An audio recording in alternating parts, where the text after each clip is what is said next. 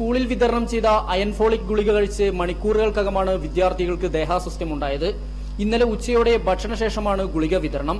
ഇത് കഴിച്ച് വൈകുന്നേരത്തോടെ പത്തോളം വിദ്യാർത്ഥികൾ ആശുപത്രിയിലായി. ഇന്ന് രാവിലെ കൂടുതൽ പേർക്ക് ദേഹാസ്വസ്ഥ്യമുണ്ടായതോടെ ഇവരെയും നായ്ക്കട്ടിയിലുള്ള പ്രാഥമികാരോഗ്യ കേന്ദ്രത്തിൽ പ്രവേശിപ്പിച്ചു. ഭക്ഷണത്തിന് മുമ്പ് ഗുളിക കഴിച്ചതിനാലാണ് അസ്വസ്ഥതയുണ്ടായെന്നാണ് ആരോഗ്യവകുപ്പിന്റെ വിശദീകരണം. അതേസമയം ഭക്ഷണശേഷമാണ് ഗുളിക കഴിച്ചതെന്ന് വിദ്യാർത്ഥികൾ പറയുന്നു.